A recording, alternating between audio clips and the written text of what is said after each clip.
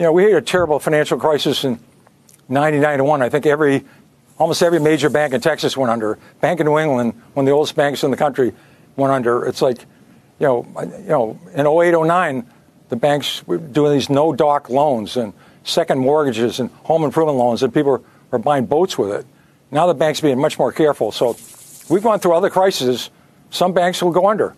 You know, 400 went under after 08, 09. Now we have stress tests.